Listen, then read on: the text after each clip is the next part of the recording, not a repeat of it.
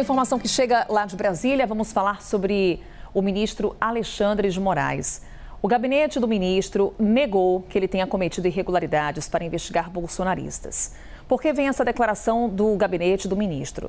Tem uma reportagem do jornal Folha de São Paulo que aponta que o gabinete de Alexandre de Moraes teria demandado o Tribunal Superior Eleitoral de forma não oficial. Gabriela Veras está conosco, vai explicar para a gente o que mais diz essa reportagem e um pouco das repercussões por aí, Gabi. O que, que diz também o gabinete do ministro e já repercussão política aí em Brasília?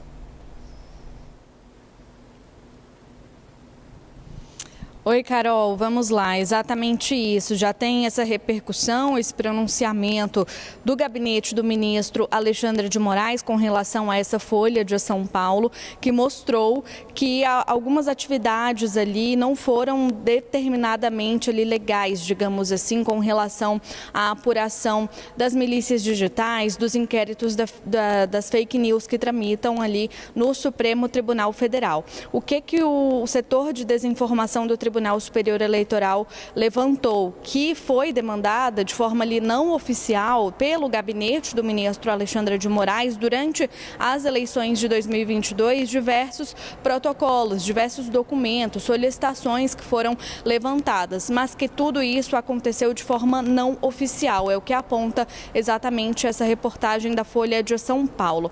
De acordo com o gabinete, isso aconteceu principalmente, como eu disse, durante as investigações dos inquéritos das fake news e também das milícias digitais. Foram feitas determinações, requisições e solicitações a inúmeros órgãos, entre eles a Corte Eleitoral, o Tribunal Superior Eleitoral. Vale a gente ressaltar aqui o que diz exatamente o relatório, o escritório, na realidade, do ministro Alexandre de Moraes. Abre aspas. No exercício do poder de polícia, tem competência para a realização de relatórios sobre atividades ilícitas, como desinformações, discursos de ódio eleitoral, tentativa de golpe de Estado e atentado à democracia e às instituições. Fecha aspas. Ainda diz o relatório que havia apenas ali uma descrição das postagens ilícitas realizadas nas redes sociais de maneira objetiva e por estarem ali diretamente ligadas às investigações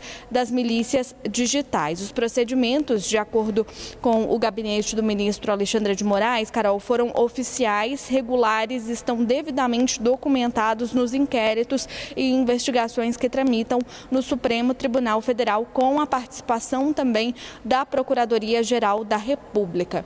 Vale só a gente explicar para quem está nos acompanhando que essa, esse posicionamento, digamos assim, do gabinete do ministro Alexandre de Moraes vem depois da Folha de São Paulo é, fazer uma matéria onde eles tiveram ali acesso a 6 gigabytes de mensagens que foram trocadas via WhatsApp por auxiliares do ministro Alexandre de Moraes, entre eles o assessor principal do ministro, que ainda ocupa o cargo ali de juiz instrutor. A Folha alega que o, obteve o material com fontes que tinham acesso ali a essas pessoas e que exatamente em alguns momentos dessas conversas, de acordo com a reportagem, esses assessores relataram a irritação do ministro com a demora no atendimento das ordens, na resposta aí que ele pedia com relação a esses documentos, a essas requisições. Então, é, uma, é já uma, uma resposta do gabinete do ministro Alexandre de Moraes com relação a isso. Vale a gente lembrar que isso já repercute de uma uma forma muito rápida no Congresso Nacional, com lideranças da oposição, com parlamentares de oposição, já se movimentando exatamente para pedir o impeachment do ministro do Supremo Tribunal Federal, Alexandre de Moraes. Volto com você. Obrigada, Gabriela Veras, pelas informações direto de Brasília.